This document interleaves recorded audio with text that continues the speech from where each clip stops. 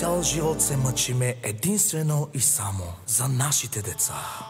Мучињома ме чавенге, ме чавенге, но животи даваленге. валенге, да валенге, са сома груп да робревел, бичал јама, деома парваво, е е махтаво. watching you.